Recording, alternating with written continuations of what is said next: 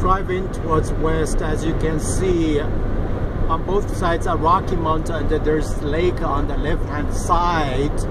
Because it's winter, so it's snow on the top of the ice, but as you can see, it's so beautiful. It's a lake actually. Look at the white uh, on the bottom of on your left-hand side at the bottom of the mountain. And in the summer, lots of people would uh, boating on the lake, but now no people there.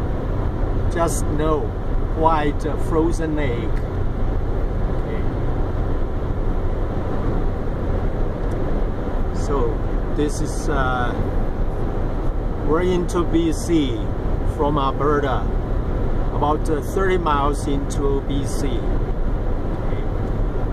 I don't know the name of the lake, but uh, it's Lake I'm that's that is for sure. And there's a mountain as you can see.